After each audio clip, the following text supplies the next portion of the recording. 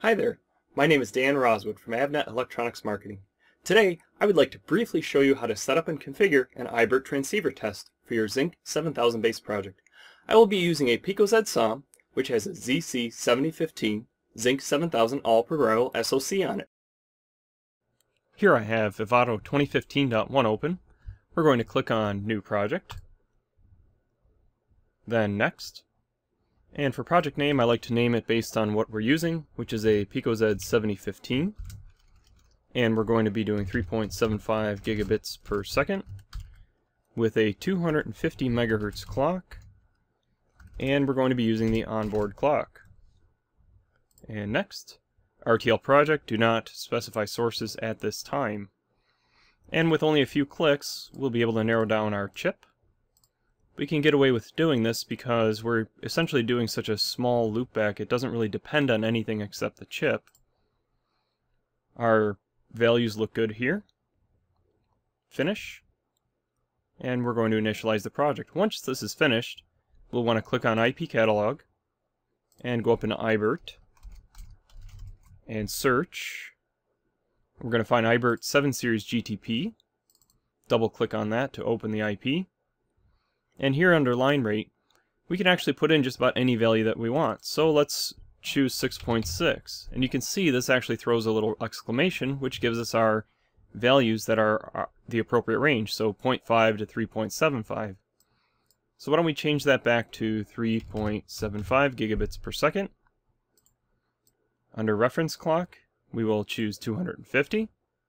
You can see that protocol selection up here actually turned red, and that's because we have to now choose our protocol, which is going to be a custom 3.75.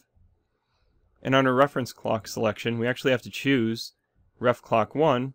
If you actually go through the schematics that are available on MicroZed and picozed.org, you'll actually see that through the carrier, we're actually using the onboard tied into clock reference 1. For clock settings, this is actually choosing what we want to use for system clock. So that would be driving our logic. And since we're already piping that signal into our transceiver clock, that ends up on quad 112 here. So we'll choose that. And you can see that it actually grays out the I.O. standard at that point. Now to our summary, which all looks correct. And we'll say OK. At this point, Vivado is going to update its hierarchy. And once that's finished, we can click Generate. So this will actually write out the files for us. So once that's finished, you can go up here to iBert 7 Series GTP underscore 0, and we'll right click and say Open Example Design. And at this point, I like to put it into a folder that's slash example underneath the design name itself. So this way we maintain the original source as well as get the binary. So we can say OK. And is it okay to create? Yes, it is.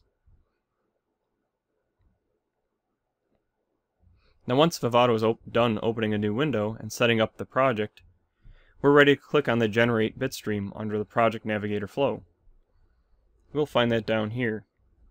So if we click on that, we'll get a message. There are no implementation results available. Is it okay to launch synthesis and implementation? Well, of course it is, since we want to make sure we get a binary from this. So go ahead, Vivado, do what you need to do. At this point, the tool is going to generate our bitstream which we will use to test out the transceivers. Well, this concludes this tech tip. Look for more videos on this transceiver series of tech tips. The following videos will include setting up your PicoZed SOM and FMC carrier, using the bitstream we just made with an explanation of the live iBert settings, what this information means to us, as well as how to use a Tcl command to automatically generate, configure, and use this project.